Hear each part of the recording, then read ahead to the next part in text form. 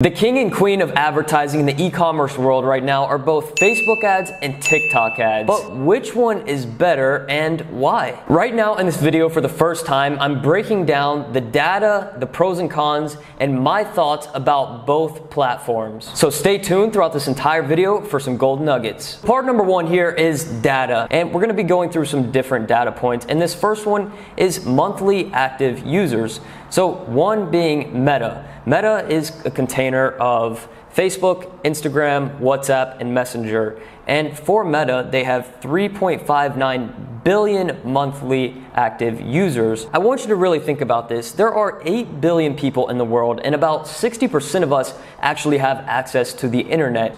And TikTok, a newer platform, has 1 billion, which is honestly impressive for its year over year growth, which we're gonna get into here in a second. But based purely off of this piece of data right here, Meta is way beyond where TikTok is. Now, out of those platforms, let's take a look into how much of those active monthly users are actually engaging and showing up daily to use these social platforms. So if you look at the blue right here, this chart is for the average time spent in minutes from each platform. So here for Meta, I made an average of all the different platforms, averaging to 25.5 minutes per day. And on TikTok, the average user spends daily 52 minutes, so over double what the users are spending on Meta itself. And the red piece here is how many of those monthly active users actually access the platform every single day and use it. And for Meta to use one of their platforms, a Facebook, Instagram, Messenger, or WhatsApp, it's 78.5%.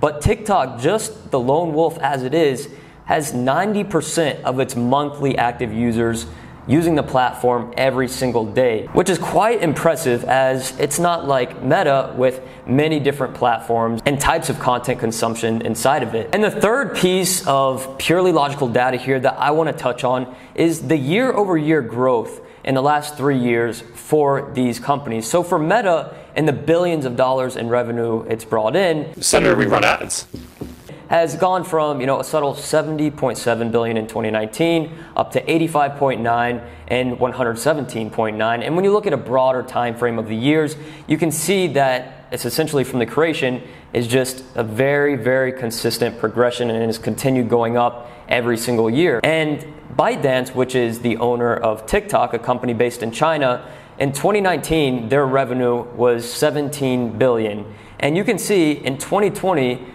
when TikTok started taking off even more and more, their revenue doubled. That's like if in this year Facebook did 70 billion and then the next year they did over 140 billion in revenue, which they have not even touched that a couple years later. And into the third year showing previous of 2021, ByteDance reported $58 billion in revenue. And obviously, not every single penny is from TikTok, but overall, as the company, we can see that TikTok has played a very, very significant role in the growth of this company and the revenue coming in. Now, on four main topics, including cost, consistency, results, etc., we're going through the pros and cons of these platforms individually. And the first thing I want to cover here is the pros and cons of starting with either of these platforms right now. So for Facebook, anybody can use it. It has a great user interface. It's very simple to use. It's quick and not buggy. And there are a vast amount of data points to actually choose from based off of how many users they have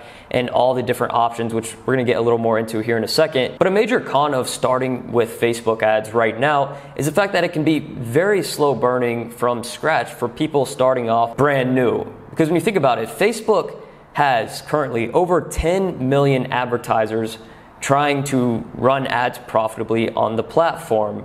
I don't know the exact number for TikTok, but obviously it's not even comparable, which is a main benefit leading into why TikTok is a cool opportunity right now that is very unique and definitely not going to last forever. And a big piece of using TikTok right now and a pro is the rare opportunity for organic algorithm virality. So I'm sure as you've seen, you know, maybe even some of your own TikToks have gotten lots of views, lots of engagement. That's something that is super underutilized even to this current day by brands not using TikTok to create organic content where you can then get organic virality to a certain degree and then can even use that specific post, add a call to action and use it as an ad itself. And a con of starting with TikTok ads right now is the fact that it's a newer ad platform with limited function overall and bugs, etc. And number two, what are the pros and cons of these platforms' native ad integration?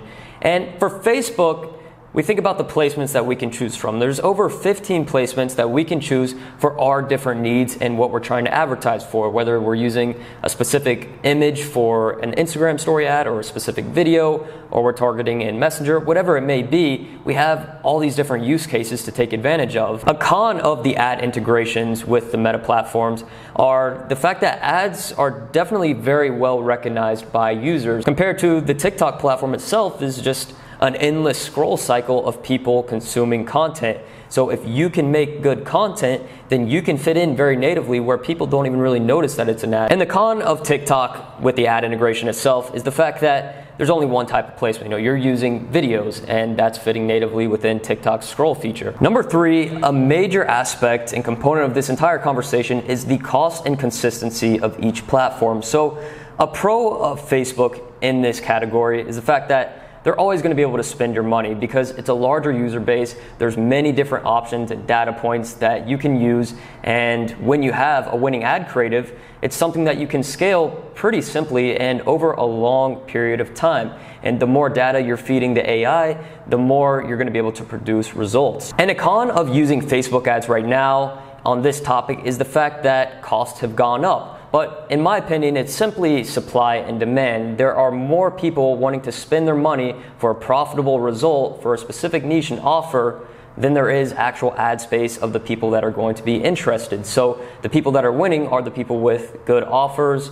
good branding, and good creatives. And the second piece of the cons of using Facebook in this topic right now are data tracking. Ever since iOS 14, you know, there's been many changes and we're limited to the data we can see and use on Facebook now where most people just don't know how to actually deal with this situation where at the end of the day most of their money isn't being spent where it should be. And there are solutions to the data tracking issues. I suggest you just join our free discord group which is going to be linked in the description below for tiktok and facebook advertisers. We all kind of collaborate and network providing value to each other with strategies etc and on tiktok right now a big pro is that it's a new platform. So the costs associated are much lower than typically what you're going to see on Facebook. And the reason that I see this happening for the, the lower cost and reaching people is the fact that it's very fast paced content that people are you know, directly engaged in. And when something is so native to the platform and they're able to you know, find interest in that, it can just be a very profitable advertising channel for you. Uh, but one of the cons of this fact and actually scaling offers on TikTok is the matter of ad fatigue itself. Uh, because you're having to stop people from this constant feedback loop they're in of scrolling and laughing or crying or you know just playing with people's emotions keeping them attached.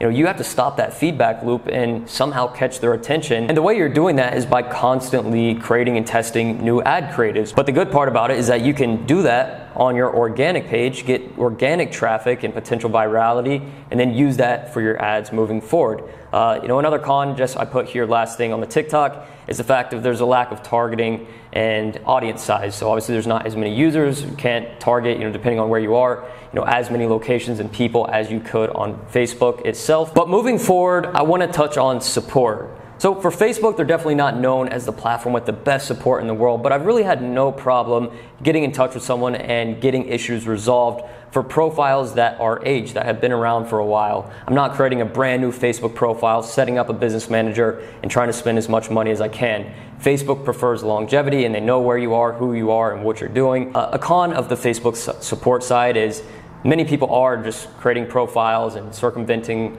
and Facebook doesn't like to give warnings. They'll just, you know, put the hammer down on you for whatever that may be. Typically, it's people that don't take a look at the policies or it's newbie dropshippers stealing other people's content and something may happen like either you know it's light where it's, they just reject the ad and then you remake it and you know you're good to go or it's something like they restrict your profile from advertising or disable your ad account. And typically, I don't see those types of things happening unless you're really circumventing the policies. And on TikTok, the support definitely is not bad at all. If you've used TikTok, you know they have the ticket support system. Uh, you know, in my experience so far with TikTok, the con side of the support is the fact of the inconsistency in getting ads approved, as well as suspensions. I've had even recently a very random suspension, and then kind of uh, no explanation whatsoever or guiding me into where and how to deal with that. As always, if there's a will, there's a way, but it is nice to have support and know that you're going to be able to, you know, have your questions answered and problems resolved as long as you aren't doing anything wrong. Truth be told though,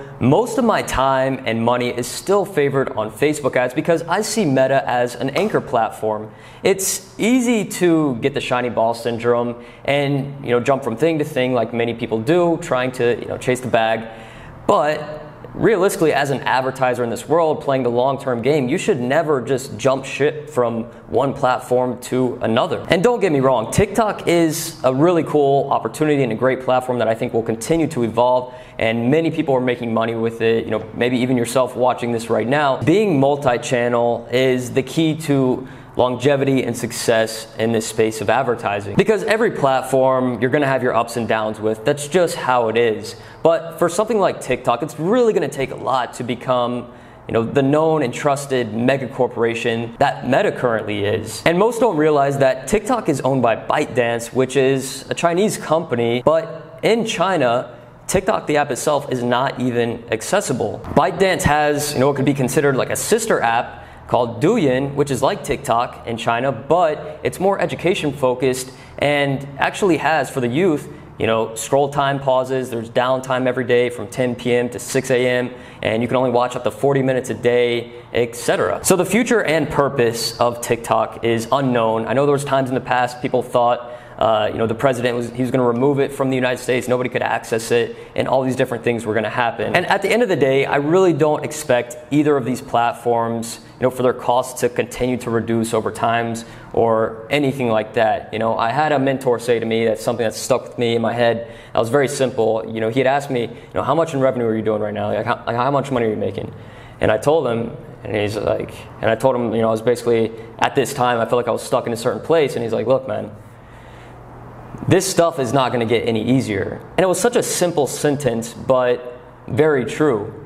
There's no way any of this stuff is going to get any easier, and it's not going to get any cheaper. You're not going to see, you know, Facebook, you know, their advertising costs just completely slash in half for completely no reason whatsoever. It's simply supply and demand, and the real winners of the e-commerce world are the people that are getting data and people that are making data-backed decisions and being omnipresent with their marketing. So this is my logical, data-backed, and semi-biased explanation as to why meta ads are still better than TikTok ads. I spend most of my days managing ads, speaking with clients, and students inside of our advanced advertiser mentorship group. So if you have a specific situation you're in and are looking to scale with your Facebook ads and become more profitable, then go ahead and just message me the word ads on Instagram, and I'm gonna be able to send you a personal message and see if it's something I can help you out with. So I hope you enjoyed this video and have a great rest of your day and be productive. And I'll see you in the next video every Saturday. Peace.